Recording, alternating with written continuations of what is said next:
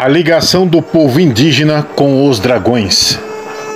Na arte do despertar dos dragões, com o povo indígena do Brasil, aliás, das Américas do Sul, Central, Norte, além dos índios asiáticos, australianos, aborígenes, os esquimós, todos trazem esses seres que animam através de nossos corações pela percepção, intuição, irradiação, refinando as visões extrafísicas com os espíritos da natureza. Nesta manifestação, a representação da Mãe Natureza e o poder dos dragões. Os dragões, para o povo indígena, não importa o lugar, o que importa é a natureza e a conexão com eles seja, sem agressões, porém com total expressão da alma com os elementos que, na verdade, são os espíritos da natureza que fazem o sustentáculo, a manutenção com honra ao espaço sagrado. Não são à toa que os índios agradecem o alimento que recebe. Logo, os índios expressam a sua gratidão por tudo que chega para eles.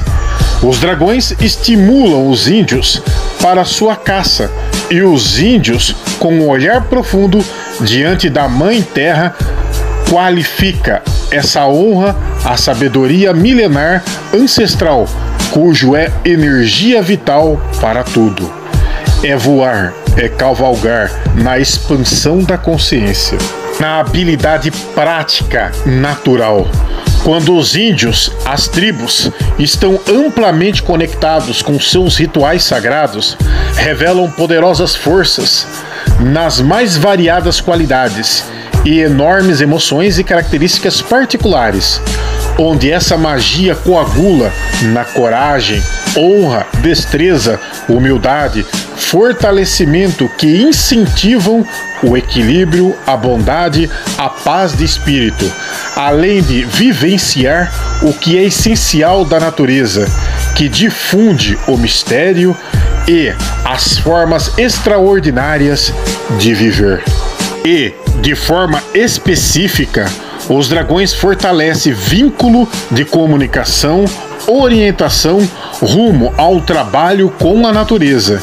E esse trabalho também é expressão da magia e os elementos básicos cristais, vegetais, fogo, ar, terra, água, minerais, os animais na restauração, no cuidado, no zelo de tudo o que é bom, vitalizando, harmonizando, amortizando na renovação, nos diversos ciclos da vida e da natureza, rompendo os grilhões da matéria rompendo materialismo e experienciando a espiritualidade no poder do totem dos dragões, com a magia dos dragões, com a presença dos dragões que interage em diversas tribos existentes na Mãe Gaia, no domínio, na liderança entre vida, morte e renascimento. E ainda, ao estar na conexão, os índios e os dragões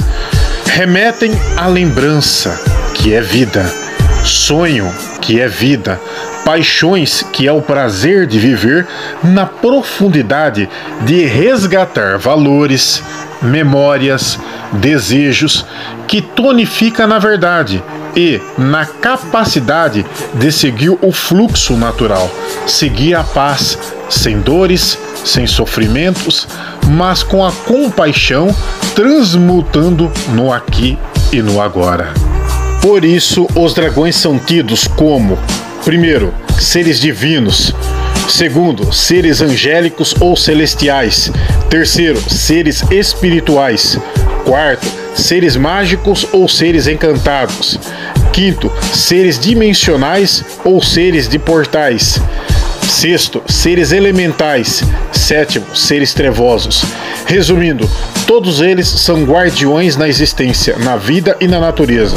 Logo, muitos não sabem explicar a infinita sabedoria do inexplicável, do indefinível, poder dos dragões. Alve os dragões com honra e glória.